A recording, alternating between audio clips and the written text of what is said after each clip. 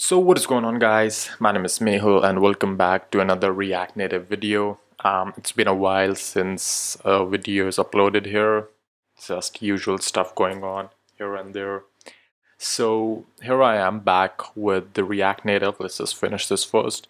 So, so far what we have been creating is just basic ugly UI and stuff and you know just pretending that we are cool and know React Native.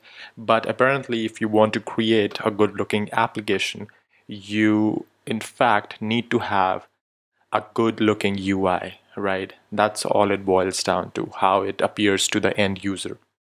So what we usually do is we as developers do not start to brainstorm the UI and uh, you know just leave everything and become the UI guys. Instead, we try to follow some guidelines provided by already existing UI developers because UI is in itself a completely different field, right? You might be a very good developer, but you might suck at uh, you know UI. That's a fact, and there are a lot of people like that. So, what I'm gonna do is I'm gonna introduce you guys to this your new friend, which is React Native Paper right? So right here, if I show you, um, this is our ugly app, but this is Codedamn, right? The Codedamn app is actually built with React Native Paper, right? As, as one of its UI parts. So React Native Paper is basically a material design library ported for React Native and obviously it's cross-platform, right?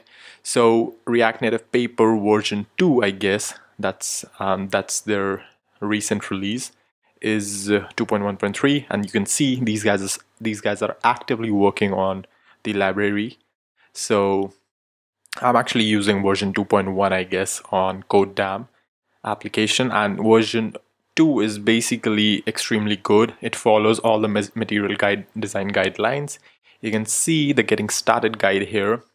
Um, this library is pretty easy to get started with and uh, what you can show uh, what you can see is basically stuff like this app bar if you want to create an app bar or banner. Bottom navigation I do not recommend with this React Native paper. You have like React navigation for that. Buttons all the time we need that. Cards is also um, one of the good things React Native provides React Native paper provides. Then you have this uh, action button as well. I forgot its full form. It's fab stands for uh, I don't know it's some action button but anyway. So we have like lists um, modals paragraphs progress bars stuff like that.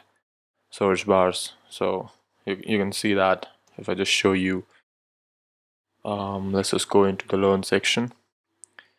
You see this is the search bar the same search bar as this one. So yeah and that, that's a little proof that I'm using React Native paper. Anyway, so let's start using um, React Native paper and build some good UI finally which we can show to people and get a praise for. So see you then in the next video.